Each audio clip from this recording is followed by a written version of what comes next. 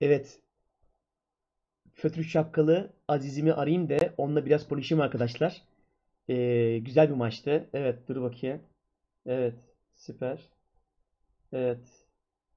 İsmail Emre de ne yazmış biliyor musun? Hocam saati gösterdiği için sağ olun demiş. Sağ olsun. Evet, durun. Yasin Hoca Evet. arıyor. Alo? Alo? Evet. Fötr şapkalı beyefendiyle mi görüşüyorum? Buyurun benim Yasin Hoca. Evet. Aziz'im eee, sizin namınız çok yürüyor. Sizi çok istiyorlar. Yürüyecek. Evet aramızda görmek istiyoruz. Yürüyecek. Uyuturum. Hepinizi uyutacağım. Evet uyuturum diyorsunuz. evet. Kabusunuz olacağım. evet. Kabusum. Kabuslara evet doğru. Evet. Sizden çok korkan da olmuş Aziz'im. Hani kabuslar falan deyince Girerim. Rüyalarınıza girerim. Benden kolay Anlıyorum. kolay kurtulamazsınız. Evet anlıyorum. Tabi tabi.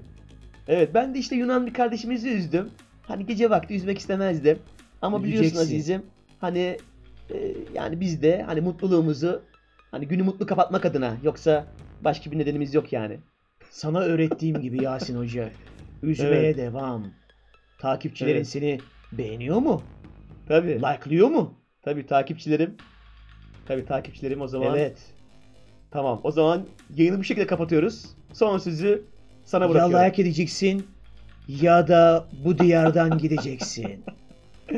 Evet. O zaman görüşmek üzere. Hoşça, Hoşça kal kal diyorum. Yasin Hoca. Azizim hoşça kal. Evet.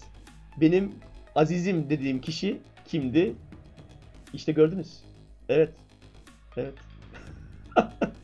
Hepinizi sevgi ve saygıyla selamlıyorum arkadaşlar. Hoşça kalın. Mutlu kalın.